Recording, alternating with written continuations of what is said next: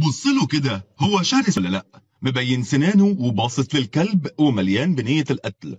وبص للكلب الهادي ده يبقى ملكهم وأقواهم. مش مهم نوع الكلب إيه كله لازم يستسلم ليه.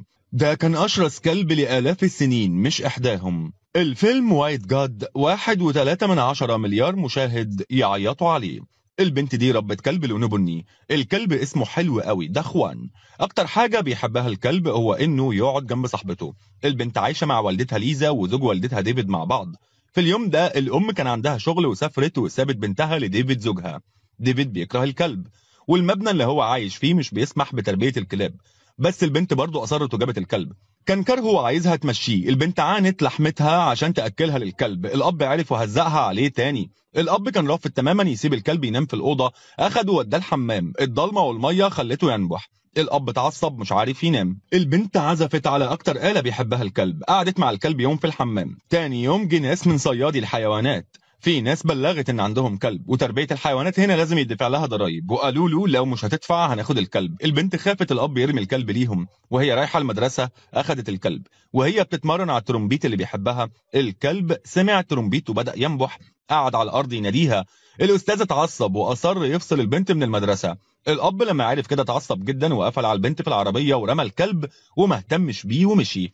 الكلب مش فاهم إيه اللي بيحصل وبدأ يلحق العربية ولزق في الإزاز وعمال يهوهو بس الأب ما اهتمش ومشي بالسرعة القصوى والكلب ورا لحقهم برضه لحد ما السيارة بعدت الكلب ما لحقهمش برضه صاحبته مشيت بعيد وهو مش عارف يعمل إيه وهو بيعدي الطريق كان هيتخبط كتير بينام جنب أنقاض بيوت لأنه جعان جدا دخل محل لحمة عايز ياكل أي حاجة بس صاحب المطعم منعه اخذ السكينة وكان هيضربه ولحسن الحظ جه كلب في الوقت ده لفت نظره الكلب والكلبه خرجوا راحوا الحته كده. ده مكان تجمع الكلاب المتشردة. كان مفكر نفسه عضو جديد معاهم. تاني يوم جه صيادي الكلاب وبدأوا يصطادوهم واتمسك منهم كتير جدا.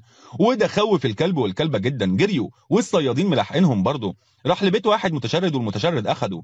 الكلب فكره راجل طيب. فكر إنه بقى عنده صاحب جديد. بس المتشرد مسك السلسلة وبدأ يخنقه. والبنت بتدور على الكلب كل يوم من ساعتها. ماشيه عماله تنادي عليه في كل حتة. حتى إنها عاملة إعلان عنه. المتشرد باع الكلب البياع كلاب. مدرب الكلاب أول ما شاف خوان اشترى الكلب ب 200 دولار. مدرب كلاب للمصارعة عايز يدربه عشان يكسب منه فلوس وعمال يصحي غريزته الشرسة ومش بيأكله عشان يخليه يصطاد بنفسه كمان وجاب له جهاز تدريب للجري.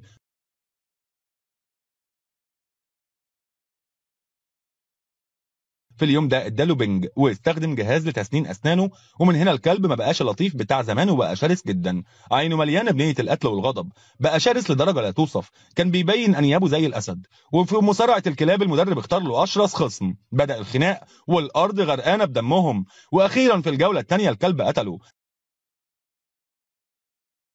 قعد يبص للكلب اللي قتله وهو من نفس نوعه وأكنه رجع لوعيه تاني. تعابيره كان باين عليها إنه مجروح من حاله ده وفجأة الكهرباء قطعت الكلب استغل الفرصة وهرب عايز يسيب المكان ده عايز يروح لصاحبته والبنت هنا جالها كآبة. الأب شاف حالتها بقت عاملة إزاي فقال لها هجيب لك كلب تاني بس البنت مش موافقة هي عايزة كلبها عايزة الكلب اللي بيحبها أكتر من نفسه. والكلب رجع لمكان المتشردين تاني وصاحبته كانت جنبه هنا وكانوا عايشين مع بعض بس صيادي الحيوانات مسكوهم برضه أخدوه لملجأ الكلاب بس اكتشف حاجة إن أول ما الكلاب بتكتر بيقتلوا منهم شوية وهنا الكلب كره البشر بجد طلع وعضه جامد.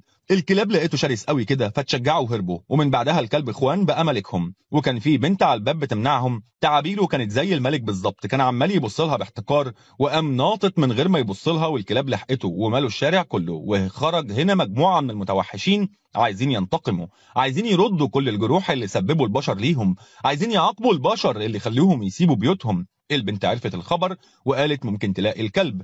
ركبت العجلة وراحت بس وقعت على الأرض والإزاز عورها. وبالليل الكلب لقى بياع الكلاب اللي اصطادوا قبل كده. بياع الكلاب برضه ما استسلمش وقال إنه ممكن يكسب تاني. الكلب اتعصب جدا والكلاب كلها جت من وراه والبياع أخد حقه تاني. ده مدرب الكلاب هنا. لما روح لقى كلاب كتير هنا أخد السكينة وكلب نط عليه. وبسرعة مسكوه على الأرض والملك جه من ورا وكان بيبص للمدرب بانتقام وكره والكلاب بتجري. وده لفت انتباه الشرطة برضه وقتلوهم واحد ورا التاني. الملك لقى في خطر قام غير طريقه وكان في عدد لا حصر له من الكلاب الميتة. وهنا البنت ورا صاحبة الكلب عشان تحاول تلاقيه. ظهر شرطي وقتل الكلب. الكلب مات وكمل تاني وضرب نار والملك اتشاف تاني من الشرطة فضربوا نار والملك هرب وبعدها جه كلاب كتير عليهم وكانوا زي الديابة. عرفت إن كلبها بيأذي البشر اللي أذوه. البنت خافت على أبوها. خايفة يجي ينتقم من أبوها. راحت لأبوها على طول وفعلا قابلت كلبها هنا. الكلب راح لها.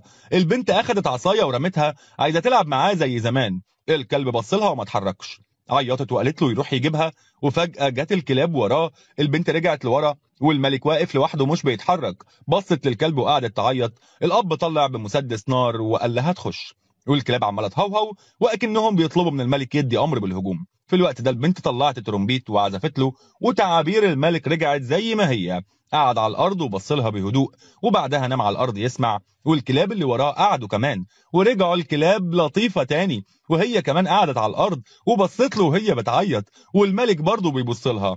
الأب اتأثر من المنظر ده راح وقعد هو كمان معاهم والفيلم خلص.